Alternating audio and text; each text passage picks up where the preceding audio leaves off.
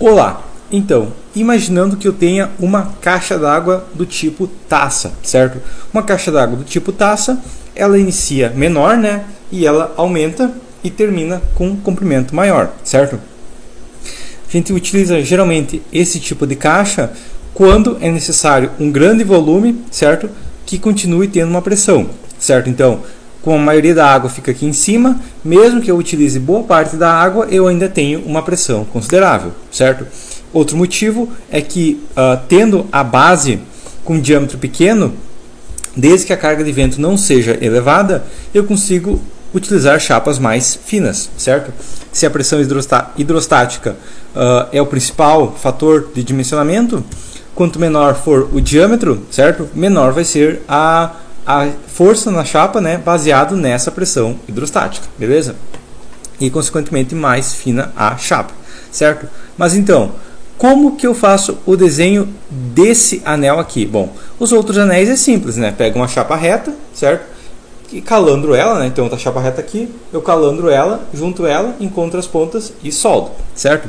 Porém, essa chapa aqui, ela tem um formato especial, certo? Ela tem que ser for, fazer um cone depois de, de calandrada, certo? Então, para ela fazer o cone, ela tem que ter um corte diferenciado, né? ela tem que ter um corte em arco, certo? E esse arco tem uma geometria específica, certo? E se não for feito corretamente, ela não vai ter o formato que eu queria, beleza? Então, como que eu faço para detalhar essa caixa aqui sem nenhuma matemática especial, exceto regra de 3? Bom, Primeira coisa, eu venho aqui, né? Posso pegar uma outra cor aqui e puxo uma linha reta alinhada com a cor que eu tenho, né? E movo ela para essa ponta, beleza?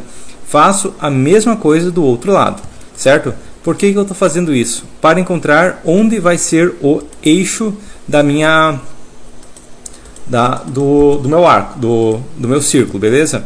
E expando ele aqui até encontrar o centro, beleza? Em seguida aqui eu gero dois círculos, certo? Bem na interseção, um até a parte interna e um até a parte externa, beleza?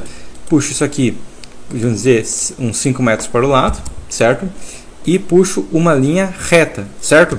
Então, essa é a minha linha reta inicial. Agora eu vou medir qual é o diâmetro desse arco, certo? Então, uh, esse círculo, né? Esse círculo tem 3.727 certo? Então, eu vou na calculadora, ok? E faço o diâmetro que eu tenho, tá? O diâmetro que eu quero que a, que a parte de cima tenha, então 1,91, certo? Dividido pelo diâmetro que eu tenho desse círculo, então 3,727, beleza? 0,5124, tá? O que, que eu faço com isso? Eu multiplico por 360 graus, certo? E eu sei que agora eu tenho que rotacionar 184,5, tá? Então, eu puxo uma nova linha aqui, certo? E rotaciono isso aqui 184.5 graus, ok? Em seguida, eu corto essa área aqui, corto essa área aqui, seleciono tudo e uno tudo em uma peça apenas, certo? Então, se eu fizer essa peça aqui com chapas e calambrar ela, o resultado vai ser esse, uh, esse esse cone aqui, beleza? E agora, como que eu detalho esse cone? Bom, primeiro eu digito DIN ARC, certo? Vou colocar até uma, uma cor vermelha, tá? Para diferenciar, ok? Dimensionamento de arco, de novo, dimensionamento do arco, beleza? Aqui posso até puxar um pouquinho mais para baixo, certo? Em seguida, eu puxo as distâncias do eixo, certo? Então, do eixo até a parte interna, certo? Em seguida, o comprimento total, né? E do eixo até a parte externa, beleza? Então, com essas informações, vai ser possível já detalhar a sua caixa. Também seria interessante se eu desenhasse as chapas necessárias, tá? Então, posso pegar aqui então uma chapa de 6 metros por 1,20, tá?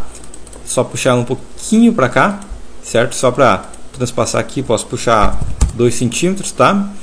Diminuo ela aqui, não preciso de 6 metros, se tiver 4 metros já é suficiente, beleza? E aqui em cima eu vou ter que ter outra chapa, beleza? Nesse tipo de peça acaba tendo um aproveitamento muito baixo, certo? Isso aqui é normal por ser um formato fora do padrão, certo? Essas chapas posso detalhar em transparente, certo? também seria interessante comprar essas chapas já com tamanho mais fácil de ser aproveitado, certo? Mas o detalhamento é esse, ok? Eu apenas puxo as linhas e daqui eu gero círculos, certo? Através disso eu faço o CAD dimensionar toda a geometria que poderia ser feito manualmente, mas que não tem necessidade, beleza? Então é isso, até a próxima.